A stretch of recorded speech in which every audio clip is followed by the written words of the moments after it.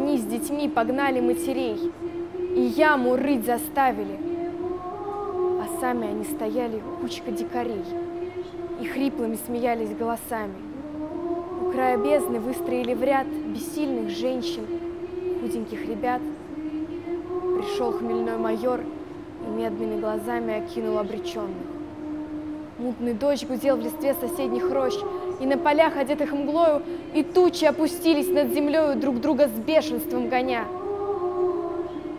Нет, этого я не забуду дня. Я не забуду никогда вовеки. Я видел, плакали, как дети реки, и в ярости рыдала мать-земля. Своими видел я глазами, как солнце скорбное, омытое слезами, сквозь тучу вышла на поля. Последний раз детей поцеловала, последний раз.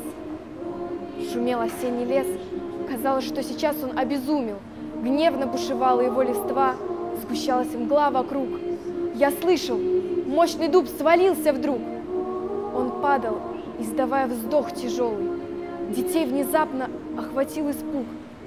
Прижались к матерям, цепляясь за подолы. И выстрела раздался резкий звук, прервав проклятие, что вырвалось у женщины одной. Ребенок, мальчуган больной, головку спрятал в складках платья, еще не старой женщины. Она смотрела ужаса полна, как не лишиться ей рассудка. Все понял, понял все, малютка. Спрячь, мамочка, меня! Не надо умирать! Он плачет и как лист держать не может дрожи. Дитя, что ей всего дороже.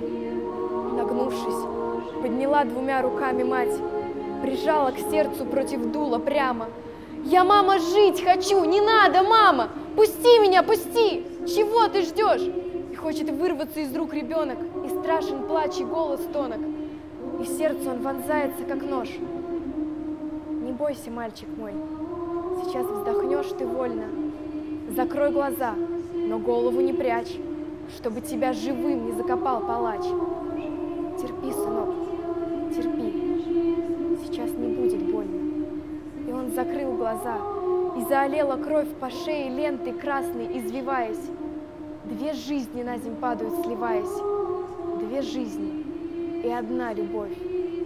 Гром грянул, ветер свистнул в тучах, заплакала земля в тоске глухой. О, сколько слез, горячих и горючих!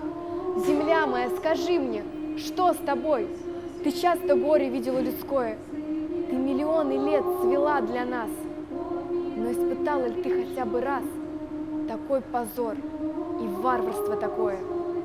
Страна моя, враги тебе грозят, но выше подними великой правды знамя, омой его земли кровавыми слезами, и пусть его лучи пронзят, пусть уничтожат беспощадно тех варваров, тех дикарей, что кровь детей глотают жадно, кровь наших матерей.